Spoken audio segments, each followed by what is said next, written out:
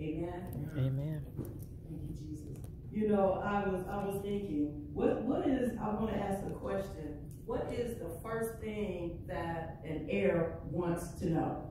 What do I get? What did you say? How much they inherit? So how much do we get? What do we get? Because you can be an heir. You know, the scripture says, okay, well, we received the blessings of Abraham. Well, what are the blessings of Abraham? What did we get? Because you can receive an inheritance and you find out that all they left you was a dollar. Or they left you a broke down house. Or they left you only $20. Or they left you a debt that you have to pay. Amen. So what an heir wants to know is what did I get? Or what do I get when I reach that age to where uh, a maturity, uh, what do I get?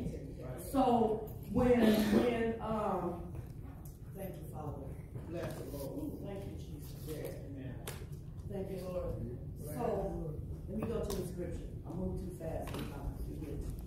Galatians 3 and 26 says, For ye are all the children of God by faith in Jesus Christ.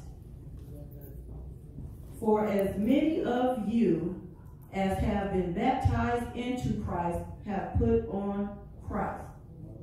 Amen. What did you say, sister? You said something. You got to be baptized in Christ. There is neither Jew nor Greek. There is neither bond nor free. There is neither male nor female, for ye are all one in Christ Jesus. So we see from the scripture there that God is not a respect of persons. Amen. Amen. Let's go to John